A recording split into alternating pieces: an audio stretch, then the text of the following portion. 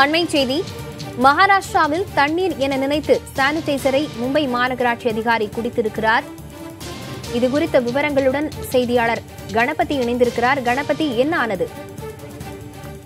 மும்பையில் இன்று சட்டசபை கூட்டத்தொடர் நடந்து கொண்டிருக்கிறது. அப்போது பட்ஜெட் தாக்கப்பட செய்யப்பட இருக்கும் சூழ்நிலையில் அங்கே அதிகாரிகளும் அமர்ந்திருந்தார்கள்.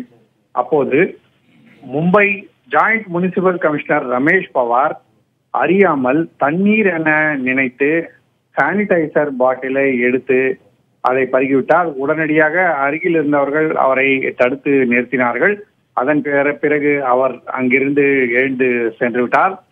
சானிடைசருக்கும் தண்ணீருக்கும் வித்தியாசம் தெரியாமல் மேஜையில் வைக்கப்பட்டிருந்த சானிடைசரை கொடுத்தது எவ்வளவு பெரிய பிரச்சனை இது? என்ன எத்தகைய அச்சுறுத்தல்களை உருவாக்கக்கூடியது என்பதை காட்டும் வகையில் இருக்கிறது.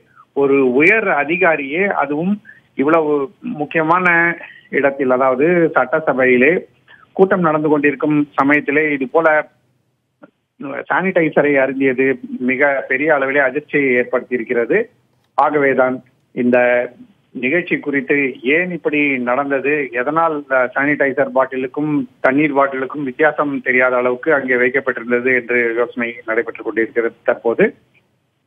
நல்ல வேளையாக ரமேஷ் பவாருக்கு எந்த விதமான ஆபத்தும் அச்சுறுத்தலும் இப்போது இல்லை என்று சொல்லப்படுகிறது. ஆனால் அனைவருமே மிகவும் கவனமாக இருக்க வேண்டும். நிறமற்ற சானிடைசர் தண்ணீர் என்று நினைத்து விடக்கூடாது என்பதை நினைவூட்டும் வகையிலே இந்த சம்பவம் நடைபெற்றிருக்கிறது. ஏற்கனவே மகாராஷ்டிராவிலே போலியோ சொட்டு மருந்து தினத்தன்று சில குழந்தைகளுக்கு போலியோ சொட்டு மருந்துக்கு பதிலாக சானிடைசர் கொடுக்கப்பட்டது. அதே மாதிரியாக இன்று இங்கே இந்த நிகழ்வு நடந்திருக்கிறது. சானிடைசரை உட்கொள்ளக்கூடாது. அது ரசாயனங்கள் நிறைந்தது உடலுக்கு ஊறு விளைவிக்கும் என்று இருக்கும் நிலையிலே இது போன்ற ஆபத்துகளை தவிர்க்க வேண்டும் என்கிற விஷயத்தை சுட்டிக்காட்டும் விதமாக இது அமைந்திருக்கிறது. அருகில் இருந்த அதிகாரிகள் அனைவருமே இதனால் அதிர்ச்சி அடைந்திருக்கிறார்கள்.